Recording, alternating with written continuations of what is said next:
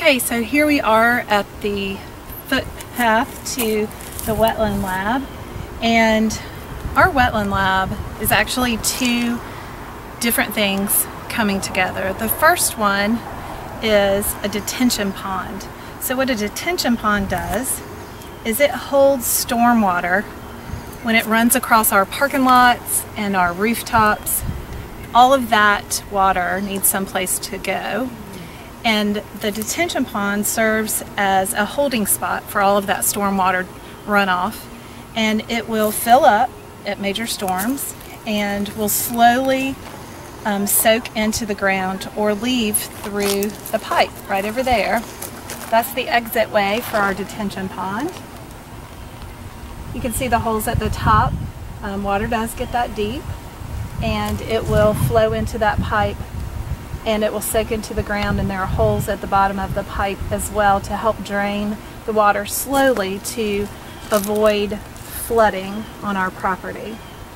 So we have water that comes off the street up here. There's another pipe that comes in draining stormwater from Wynwood Road. And then this pipe right behind me um, comes in from some of our parking lots, um, the storm drains in our parking lot. And it runs through here and into the detention pond. So um, they're important to help um, flood control in urban areas. So you might see a lot of these fenced in areas all over Greenville or all over um, anywhere that has um, buildings, parking lots, roads. So they're designed to capture all of that stormwater runoff. So it serves um, a, great service to our school. So first, this is a detention pond. The second thing that our area happens to be is a wetland. Um, even when it is a dry week or a month and there's no rainwater, there is water always in here. There's a creek that runs through the middle of it that is um, begins, has its beginnings with some natural springs, fresh water that's coming up from underground. And there's also along this bank a lot of seeps. And through the whole wetlands, there's a lot of seepy areas where water is just seeping up to the top. So we have a wetland as well as a detention pond. So a wetland um, is defined by three things. One, there's water during some part of the year. Ours always has water because it is coming up from underground. Um, two, it has hydric soils, which means the soils down here at the bottom of the wetland are different than they would be upland. Um, they are, they hold moisture.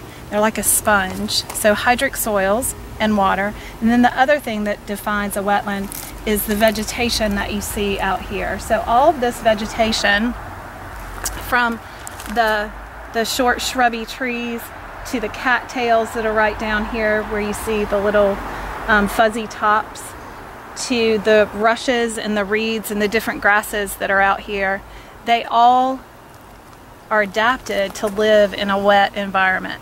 So wetlands have three things. They have water, they have hydric soils, and they have hydrophytes, which are hydric vegetation or plants that are adapted to live in such a wet and soggy environment. So we're fortunate enough that we have both of these things going on at the same time. We also are fortunate enough to have a teaching platform at the end of a boardwalk that actually gets students out into the middle of the wetland. Right now there are some students down there that are dip netting into the creek area and they've captured salamanders, tadpoles, dragonfly larvae, mayfly larvae. So we'll go down there and take a look in just a second what they're capturing. So here at CCES at the Wetland Lab, we are very fortunate. We have combined a wetland and a detention pond and a lab that students can use for investigations. So here, if you take a look over the boardwalk, you can see why we call this a wetland. There is about two or three inches of water all the way through this vegetation and it comes up from underground um, in little springs and seeps all through here. There's also a bunch of life down in here. Um, if you see some things moving in the water, there's tadpoles, there's little insect larvae, and you can see some of the vegetation that we have out here. We have reeds and rushes and right over here this tall um, almost looks like a baby tree which it is. It's a willow. Um, and then if you see the little um, ones with looks like um, powder puff on top those are the old seeds of cattails. So all of these plants are adjusted to living in this type of soils and water.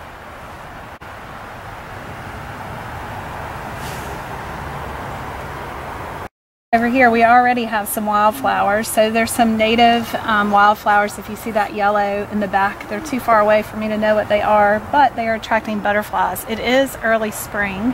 Um, if you come out here in a month from now, you'll see this place is has tons and tons of dragonflies and butterflies. There'll be a lot of wildflowers in bloom and um, hosting a lot of our pollinators. So butterflies and birds and um, dragonflies.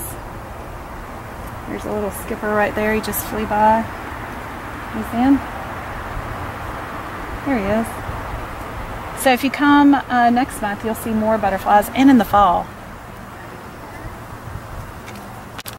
jumping. Right? All these critters, um, Sadler, are going to be like clinging on, to Mary. Uh-uh. vegetation on the edge. Come yeah, on. I'll stand on the boardwalk and do it. You can do it over on that side too. You can do it there as long. And and then if you see a little um, tadpole, Sadler, you can pick that up. But sometimes one of the best methods is just kind of go scooshing along the edge of the, Jay, you got something. and then bring up your net and see. Look, I have a little got dude. So I have a little um, tadpole, baby frog. Look at you. You got a tadpole? They're fast.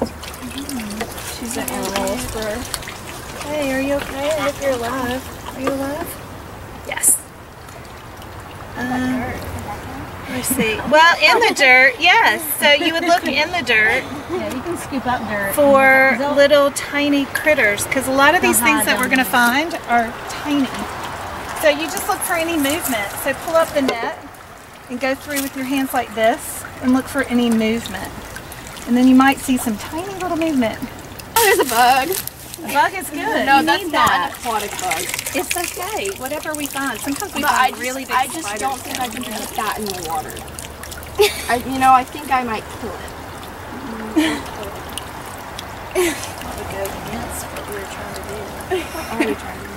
Uh, we also catch um, salamanders and crayfish in here, so look at those. I don't know what a tadpole looks like. Go look in the bucket. See, and yes, you do. I just put one little crawfish hole. So he tunnels down in there and moves the dirt out and gets um, down closer to the water. So oh, we can right around. So little uh, crawfish. So we know that. Oh, I got a tadpole. Oh yeah. See that little dude right here? Do you see him? How tiny he is? So this is going to be a dragonfly larva. So we'll go put him in the. See him right there? See him? He's a he's a baby dragonfly. Let's go put him. All right, Sadler. We'll get him out in just a little bit. But do you see that little guy? This is an insect gall. But you see the, that little guy right there Yeah. that's crawling around?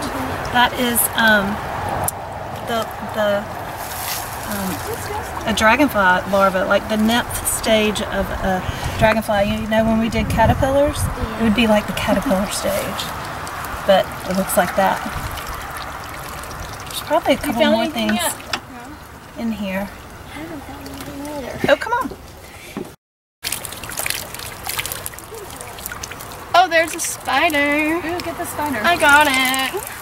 Put the green bug in there. I don't think it swims. I think it's a praying mantis. Look at that. Can you see it? Well, Okay, so let me show you how small some of the I've things never that you gotta look. show it to your mother. Oh, very cute. I don't know what that is, so I'll have to look. But What let should me I do with show them? you. Go ahead and put him in there. In the water? Um, over. He'll be okay. Um, Oh, Right there. Oh. And I saw him because he was moving. So you gotta look for movement. The tadpoles and the crawfish are gonna be the biggest things that we find. But do you see this little guy moving? That's how tiny some of the things. So you gotta really look Yeah, carefully. you out there. Yeah, I never let my kids walk out here, so. I don't walk out here. Go look. You walk on. Fuck, what did you caught? Nothing, girl. There's a mayfly. Got a mayfly and a dragonfly larva. I see a dragonfly. Get it. There's a mayfly. I could just caught a mayfly larva too. Stick. That is not a stick. Did you find a stick? No. Is it moving? Yeah, come here. It's like a Awesome. It's a stick. it's like a brown stick. Oh, I can't wait. a moving stick. It's not, definitely not a stick. How exciting! definitely not a stick. Oh, I don't know, I have to it Google is a. No, I know what it is. It's a larva. Here, let's put him in the water. Catch it. I think I got it. I did. Oh, Here. I want to catch a crawfish. Let me see. Fiona, what have you caught? Nothing. Dude.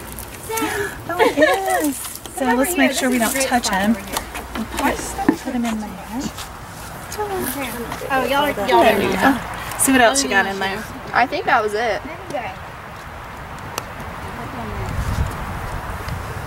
Hmm.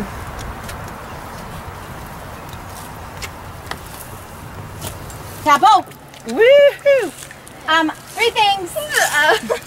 Um, zero things. Zero things. Marilyn and I are in a race. No, I have four. I know, but we're still in a Oh, okay.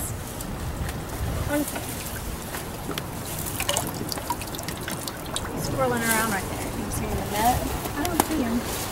Here. I feel like I should put him in the water. Yeah. Try not to get all the um, dirt in there. I'm trying. kind of I lost him. There he is. Go along the edge of. Yeah. Of like Oh, Gina, I'm gonna have to get some of this dirt in there. I'll pick it out.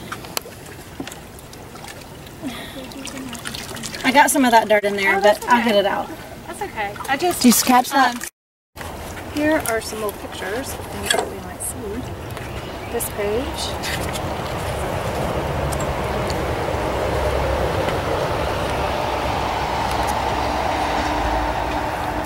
Sure, did you catch that big one? I don't know. I think so. I think he was our first one in. Does he have legs yet? Yeah. So we can see him. All right. So there's some little tiny guys in here, and I don't Speak want up. to hurt them. So I'll be pretty careful with that. Little dude. Look. He doesn't belong in the water, does he? He's an adult. A little tiny adult. It's like a grasshopper. I know, it is. It's this tiny little, tiny little adult. So we'll let him go back in the grass. Ooh, ooh. Oh,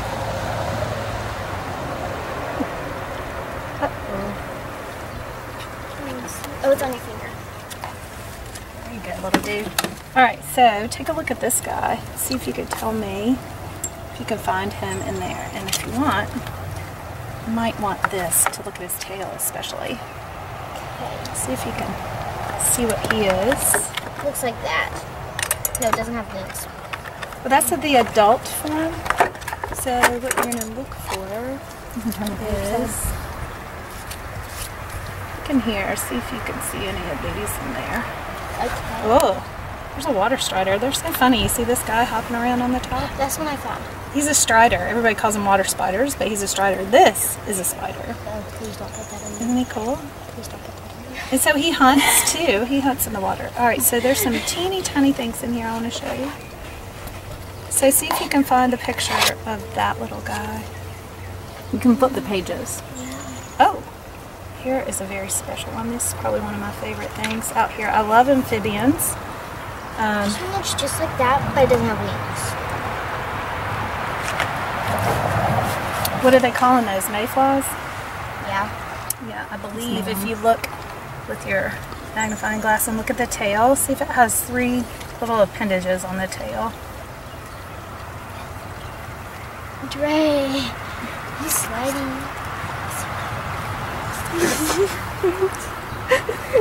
I'm wet. Oh, My back is wet. y'all are blocking us from the sun. We were trying to. That's very nice. I'm trying to be very cool with this little guy. All right, look at this little special guy. That's so Do you see him? Yes, it is a salamander. And if you look, use your magnifying glass to look and see how he's breathing right now. Do you see those gills at the top of his head, right behind his eyes? They're like kind of like flaring. Yeah, they're filary, exactly. That's how he's breathing underwater. That's a baby salamander, a little tiny guy. So he's an amphibian, and this little guy right here is an amphibian too. We know what he's going to grow up to be, right? He is very active. I'm pretty sure that was the one I found. No, I found that really. They are going to grow up to be a frog. Um, so amphibians, right? So they lay their eggs in the water just like the tat, just like that. There he is. How do you feel about the tadpole as opposed to a real frog Sadler? He's just a baby.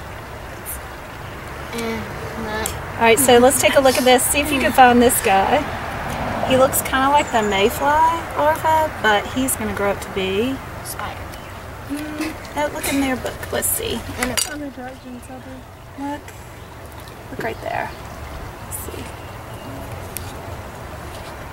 See if you can find dragonflies in here. I can't really see. Dragonflies and damselflies. So damselflies look like that. And dragonflies, see how they don't have anything on the. So see that little guy? He just has a rounded behind. He's going to grow up to be one of these. and that one is going to grow up to be one of these. All right, there's a couple more tiny little things that I saw in here. Anybody catch something else? We got Yeah, this I salamander, tadpoles. I Oh, there's another salamander. No, that's the same one. Um, I don't like holding the amphibians. I think it does more damage than good. They have um, skin that absorbs anything that's on your hand. So, like, if we held a frog or a toad or a salamander or one of these little babies, um, that if we had anything on our hands, like hand sanitizer right now, right, or bug spray or sunscreen, and we held something, um, an amphibian, it would seep into their skin and it would be very bad for them. So we try not to hold any of the amphibians. But the the insect larvae are okay if you want to hold one of those. Do you want to hold one of those, Evan?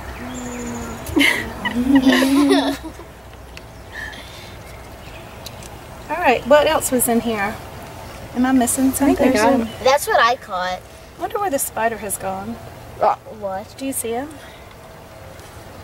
Vamonos. Vamonos. I don't see him either. I think he set himself free. That's scary. We're gonna set these guys free. Um, look, look, look. Now you can see his tail. What about the little? Do you see that three um, pronged tail right there? That's fanned out. Let's see if we can find that one. I think. Look right here. Yeah, that's what it looks like. Mayfly. Um, a little mayfly. And here's what it's going to look like. Here's what it's going to look like when it is an adult. A little mayfly right there. And that's its little baby right there. Did So anyone see it go anywhere? With the spider? Yeah. He's not. You don't want to come home with us, right? Um, no. Crawfish is the only thing I haven't found that I usually find in here. So we'll try again. I'll try to do a crawfish another day. All right. So one of the things that we have to remember when we take a look at these critters, we have to put them back where they belong. So you want to take them and put them back down there. Okay. Yeah, just take it. Just take it. Just dump them out kind of over the We edge of that. out all these critters. Not like from way up here, go down to the grass and and dragonflies, and um, um, salamanders, and we are putting that. back. Come here, Earl. Will you hand me that click beetle so I can Yes. show people? Did we film the click beetle before? No. Okay. Good job, Dad. Oh, one thing. Oh, yeah. Okay. So, this little guy was out there. Um, he flew down. He can fly. It is an eyed click beetle. Oh, there he goes. Come here, dude. Uh, it's an eyed click beetle. He's not he's not faster than Miss Varat though. Um, so I want to show you a couple of really cool adaptations about him. He has these eye spots um, that are designed, we think, to intimidate any predators. It makes him look bigger than he is. So those are false eye spots. His eyes are actually way up underneath his antenna right there. Um, and he has this, he's called it, that's why he's called eyed. And he's called a click beetle because he does something really cool to scare away predators. So if a predator tries to grab him, I'll show you in just a minute if I'll let go. If a predator tries to grab him, he will flip. Did you see him flip back over? Yeah, And he awesome. makes a little sound, a little click sound. He can, there he goes. He can um, do something with his body that makes it snap back and he can do um, a little, little acrobatics like you gymnasts out there. So he's so cool. I love him. They're one of my favorites. eyed click beetle. They're harmless. People are afraid of things like this, but you shouldn't be. He's harmless. And sometimes he plays possum. He'll tuck his legs and his head up if a predator tries to get him, and he acts like he's dead.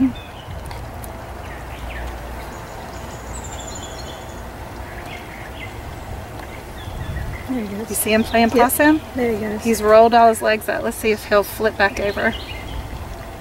When the coast is clear, or if he thinks the coast is clear, he'll stretch his back out and then it'll flip over. Here, lay him down in his little habitat. See if he'll flip over. So he's coming. He's getting ready to. He's got his antenna out.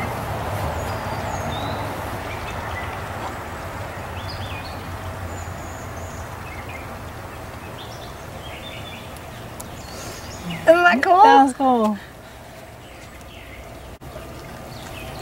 Very cool insect.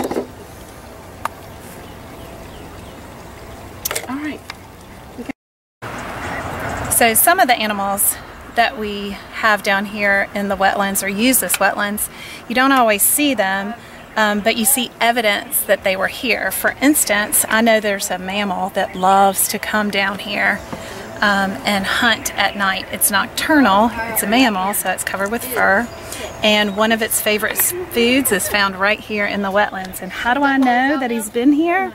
If you look right there on that small sandbar, you'll see some footprints. Those are footprints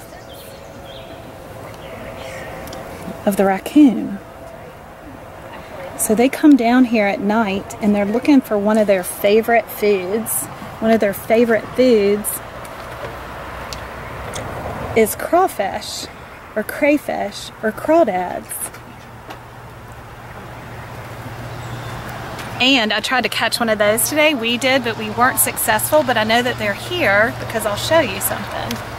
Sometimes we don't know. We don't actually see the animals that are here, but we see evidence of them. So right here on the edge of the boardwalk is the remains of a crawfish or a crayfish. So something has eaten it, probably a raccoon, or could have been a hawk, most likely um, a raccoon, could have been an owl as well, but sat up here, ate him, and these are the little claws and the legs that are left from their little snack. So sometimes we have to look for signs of animals.